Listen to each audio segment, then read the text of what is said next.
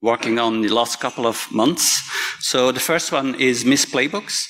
Uh, MISP playbooks, they address common issues that you encounter if you work in a CSIRT, SOC, or CTI team. They're built on top of Jupyter notebooks, and basically this gives you a way to collect documentation in a Markdown format and also to execute some code. In our case, it will be Python and PyMISP. This allows you then to access MISP. So combining MISP with PyMISP and Python and Jupyter Notebooks gives us the MISP playbooks. Now the MISP playbooks, they're published on the GitHub repository. Currently have about 24 playbooks. Um, next to the playbooks, there's also a bit of documentation, some guidance and technical documentation, how to set up your own environment, how to contribute to the repository, and how to uh, adjust the existing playbooks, and also some conversion scripts to convert MISP playbooks to CACAO security playbooks. The playbooks that currently exist, they're playbooks for MISP users and for MISP administrators. Now, those for MISP users, they allow you to do some investigation, for example, domain IP lookup, uh, lookup CVE details, verify if indicators exist in Elastic or in Timesketch. They also allow you to create events from Sentinel security incidents, to do some malware triage, um, do some threat intelligence curation, and also to get to know some of the, the specialities of MISP. For example, how do you need to work with MISP objects? How do you need with MISP warning lists? And what are the different timestamps and dates that are used in MISP?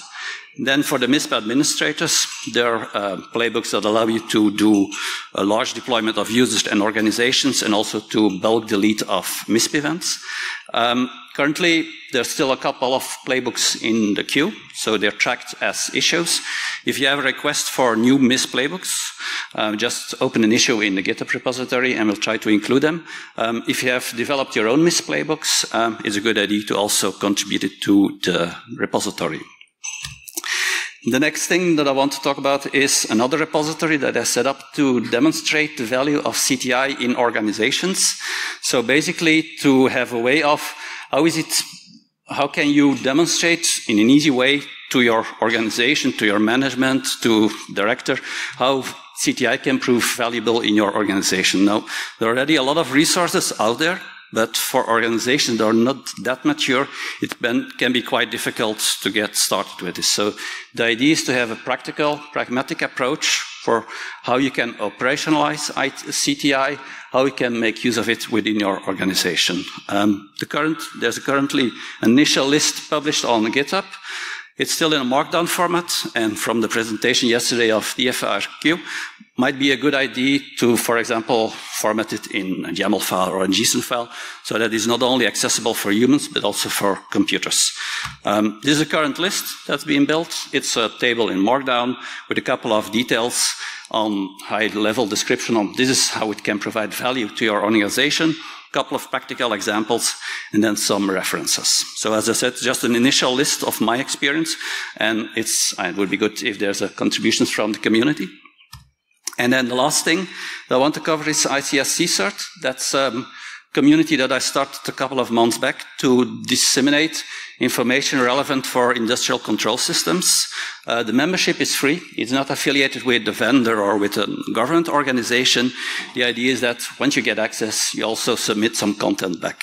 There are two services that are provided. One is OpenCVE for advisories. Might be a good idea maybe to replace that with vulnerability lookup in the future.